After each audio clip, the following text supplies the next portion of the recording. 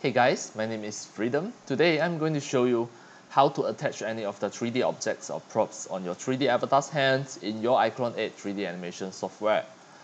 So now you can see this example. I already have an avatar. Look at this stick. I already attached this stick on this avatar's hand.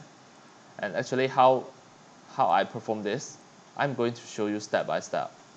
Right, so now I start from beginning, create a new project here. Everything start from beginning, the workplace should be at the standard. Something like this. And as demo, I'm going to just call out an avatar here, the actor called crowd. Just make it simple. And then I may just choose a really simple props here.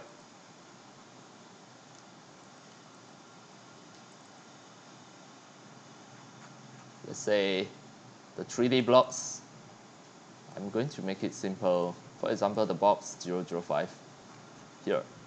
And I'm going to make it as a stick. So first I may just decrease decrease the size decrease the size and then increase the length press R to increase the length next I'm going to attach on the, av the avatar's hand I may just rotate it like this. And just move it to attach on the avatar's hand.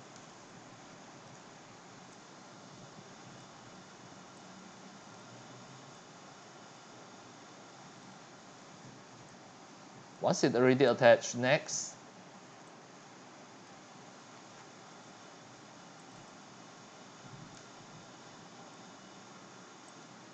next just click here.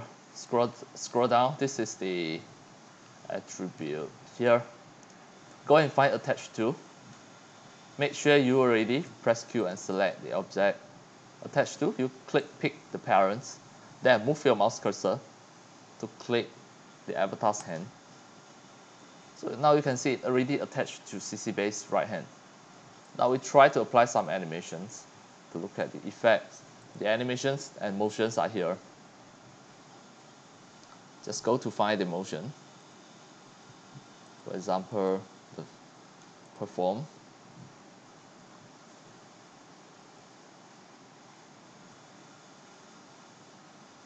Stand.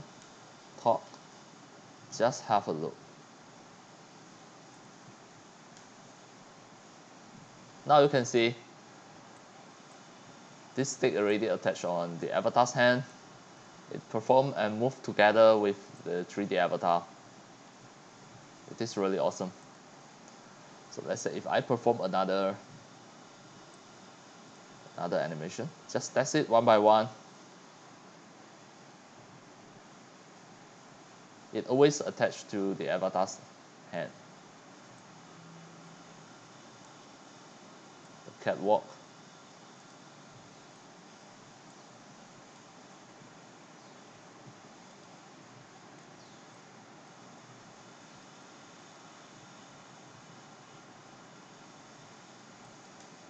Right.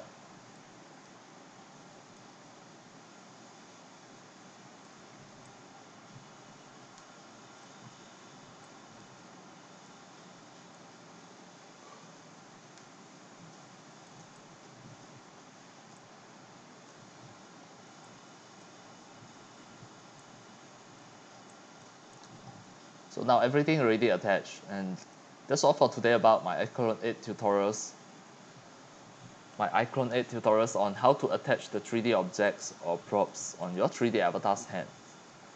And that's all for today. Thank you for watching. If you love my video tutorials and sharing, if you feel all these tutorials and sharings are very helpful to your 3D modeling, 3D animation and 3D game developing, you can subscribe to my YouTube channel and also turn on the mini bell and select all so that when next time I publish a new videos, tutorials or sharing, you receive the notification immediately. See you in my next video. Enjoy! Happy 3D modeling, 3D animation and 3D game developing. See you!